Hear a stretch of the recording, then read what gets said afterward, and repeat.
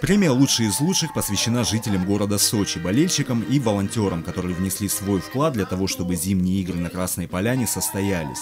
Лучшим волонтером, по мнению жюри, стала Анжелика Голубева из Твери. Я работала на Олимпийских играх на объекте Большой Ледовый дворец, волонтером прессы.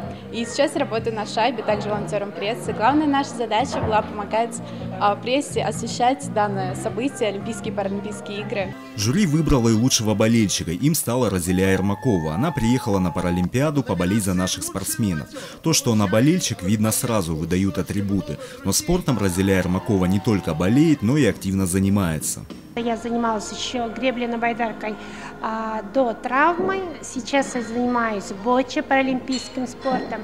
Это маленькие кожаные мячи. Первая паралимпиада была в 1994 году. А это было в Америке. Вот э, бочи занимались.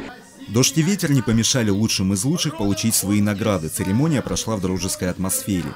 Премию получил лучший сочинский спортивный класс. Им стал пятый Г 4 школы. За всех ребят поздравления приняла их классный руководитель Карина Аджахян. Когда проходила э, фестиваль дворовых команд э, спортивных, и дети очень активно принимали участие в этих соревнованиях. А, хорошо отметились, хорошо выступили, получили э, призовые места.